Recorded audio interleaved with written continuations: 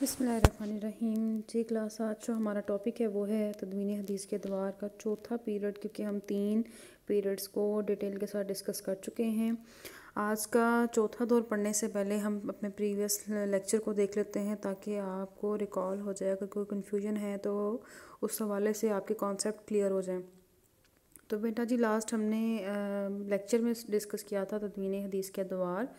और इसमें हमने पहला दौर जो पढ़ा था, उसमें हद नबूत का ज़िक्र आता है, एक से ग्यारह कबलज़ हिजरत से ग्यारह हिजरी तक आता है। उसके बाद इसमें जो अहम अहम काम हुए हैं, वो हिफ्ज़ हदीस है, किताबत हदीस आया है और रवायत हदीस।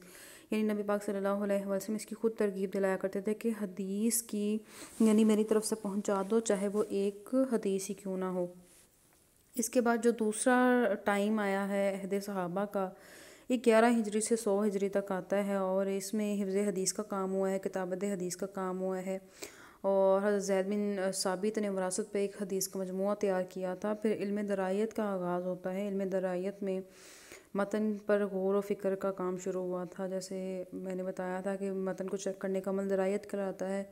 हलकात हदीस बने थे नए नए और फिर हमने ना इन दोनों में डिफरेंस पढ़ा था कि हल हलकात हदीस जो हैं वो अहद सहाबा में कौन से हैं और अहद ताबीन में कौन से हलकात हदीस बने थे।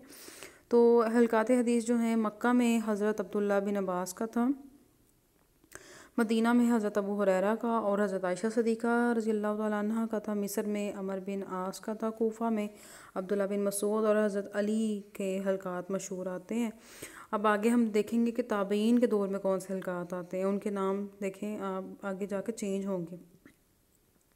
तीसरे दौर में जो अहम तरीन काम हुआ है स्टूडेंट्स उसमें आता है कि यहाँ पे हिफ्ज़ हदीस का काम हुआ और सबसे इंपॉर्टेंट चीज़ जो है, उमर बिन अब्दुल अज़ीज़ के दौर में हुई है। मोहम्मद बिन मुस्लिम शहाब जो हैं, ज़ाहरी इनको अहदीस का मजमू या अहदीस लिखने की ज़िम्मेदारी सौंपी गई थी। ये सवाल आ जाता है कौन से बादशाह ने किस ताबी को जो है हदीस की ज़िम्मेदारी दी थी हदीस लिखने की। इसके बाद इलमसमा रजाल आया है, जरा तदील आया है इसमें। तीन जो, तीसरे दौर में दो अहम फ़नून जो हमारे सामने आते हैं, वो इलमसमा रजाल है और जरा तदील है। इसमें हलकात जो जो थे उनको देख लेते हैं। इसमें जो हलकात हैं, मक्का में अता बिन अबी रबा का है।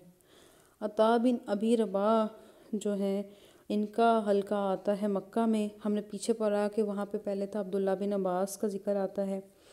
इसके बाद है, मुजाहिद का भी हल्का था यहाँ पे। मदीना में सईद बिन मसीब का था, अरवा बिन ज़ुबैर। अरवा बिन ज़ुबैर जो हैं, हज़रत आयशा सदीक़ा रज़ी अल्लाह के भांजे हैं और हज़रत असमा के बेटे हैं। बसरा में हसन बसरी का था, मोहम्मद बिन सरीन का है, कोफ़ा में काजी शरी का है और शाम में मखूल रहमतुल्लाह का है। और ये हलकात मशहूर हैं। पेपर में सवाल किस तरह से आएगा कि अहद ताबीन में हल्का हदीस बयान करें कौन कौन से थे और किस किस के थे?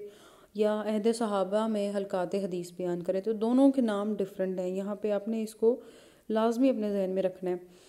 इसके बाद इस दौर में मोता इमाम मालिक की जो है वो मरतब की गई थी। इमाम मालिक जो अहल हदीस जो जिनके पैरोकार हैं, इमाम मालिक के तो उनकी किताब शाया हुई थी मोता, जिसमें पाँच हज़ार अहदीस जो हैं, वो शामिल हैं। सबसे पहली जो हदीस की मुस्तनद किताब मानी जाती है, वो यही है। यानी पहली जो किताबी शक्ल में जो हमारे पास अहदीस की किताब आई है, अहदीस का मजमू आया है, वो मोता इमाम मालिक की थी। उसके बाद हमारे पास मुस्लिद अहमद आती हैं, जो कि छत्तीस हज़ार अहदीस पर मुश्तमिल है। चौथा दौर इसमें यानी अब क्लियर हो गया क्लैरिटी होगी कि इसमें असमा और जाल है, जरा तदील आता है और हलकात हदीस जो है, हल्का जात में इजाफ़ा हो गया था और वो कहाँ कहाँ, किस किस के अंडर थे। चौथा दौर जो है बेसिकली हलकात बनाने का मकसद ये था कि बेशुमार लोग इनसे आके इल्म हदीस जो है, वो हासिल किया करते थे।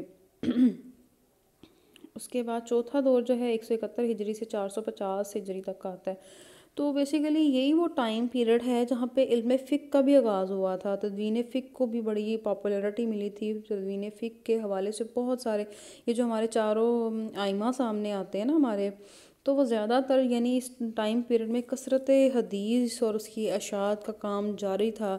तो उनकी शुरुआत के हवाले से जो इमाम थे, उनमें आपस में जो है वो तज़ाद पाया जाता है। यानी शुरुआत के हवाले से अहदीस की शरय मामले, उनकी शरह, शुरुआत के हवाले से उनमें तज़ाद जो है वो पाया जाता है। तो ये वो टाइम था कि जहाँ पे एक तो इल्म हदीस की तरक्की हो रही थी, हिफ्ज़ हदीस को भी बड़ी तरक्की मिली है, और कुतुब सहाय सिता वेरी मोस्ट इंपॉर्टेंट थिंग कुतुब सहाय सिता का जो टाइम पीरियड है, वो यहाँ पे सामने आता है कि ये मोतबर किताबें हैं।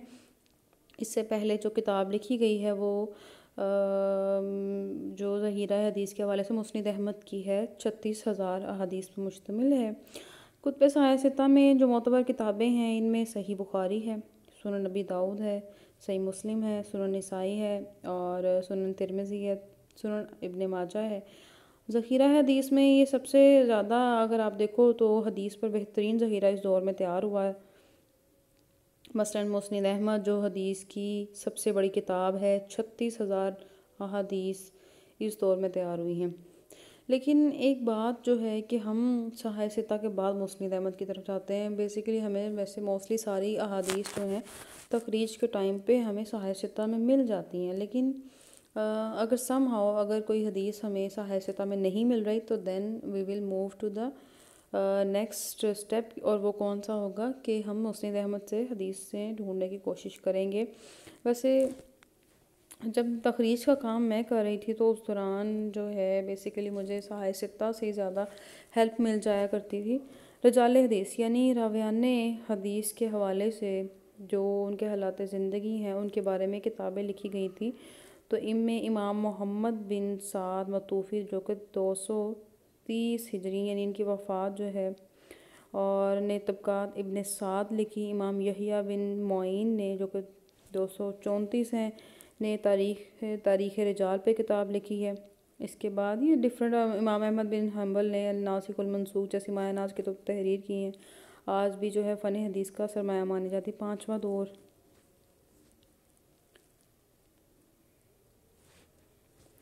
पाँचवा दौर जो है, ये इल्म हदीस की तकमील का दौर है।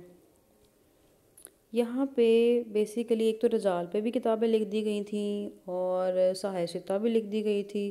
तो आगे अब, आज के पीरियड में क्या हुआ कि जो है पाँचवें दौर में जो प्रेजेंट पीरियड में शुरुआत पे काम किया गया, यानी ज़्यादा से ज़्यादा शुरुआत ट्रांसलेशंस लिखी गई बुहारी की शरह जो है फ़तहबारी है और मुस्लिम की शरह नबी। लिखी गई रजाल हदीस पे भी फिर यहाँ पे काम हुआ है। तो यहाँ पे जो बाकसरत जो किताबें मार्ज वजूद में आई हैं, इनमें असमा और रजाल के फ़न इस दौर में बहुत तरक्की की। मसलन इमाम यूसुफ मज़ी की तहजीबुल कमाल है। इमाम यूसुफ, एक तो इमाम यूसुफ करजावी है ना, ये इमाम यूसुफ मज़ी हैं। इनकी तहजीबुल कमाल किताब है एक, और इबन हज़र की तकरीब तहज़ीब है। अलसाबा है और इमाम जहबी की तस्करतुल्फ़ाज है।